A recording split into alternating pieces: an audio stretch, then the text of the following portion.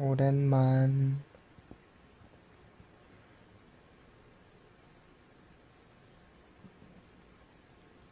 나는 뭐 녹음도 하고 곡도 쓰고 그러고 지내고 있었어요.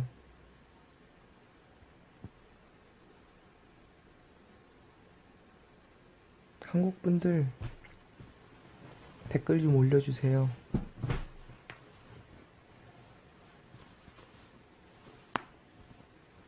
네, 렌즈 끼고 있어요.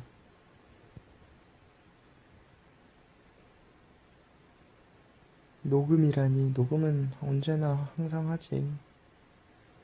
오늘 저녁, 저녁은 안 먹었고, 아까 운동하고 아는 형이랑 샤브샤브 먹었어요. 샤브샤브 맛있었어. 요즘에 조금 무기력증이에요, 무기력증. 무기력해. 컨디션을 올릴 방법을 찾고 있어요, 그래서.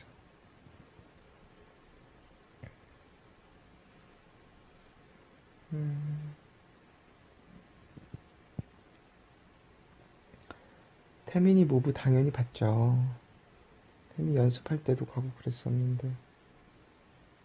연습실에서도 보고, 콘서트장에서도 보고, 다 봤지.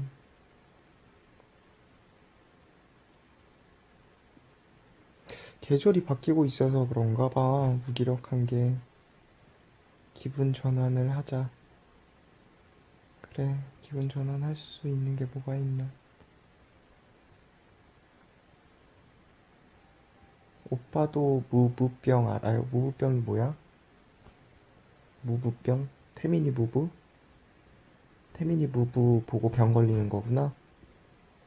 계속 보고 싶은 건가? 무부가? 계속 생각나고. 옹?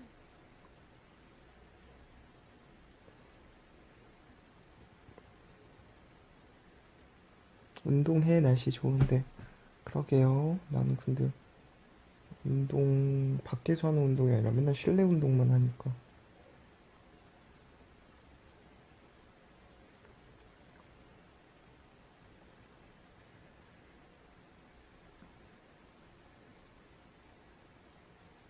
네, 들으면서 치명적이게 하는 거예요, 모든 행동을.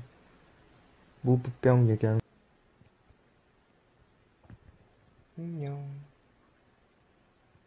갈게, 이제.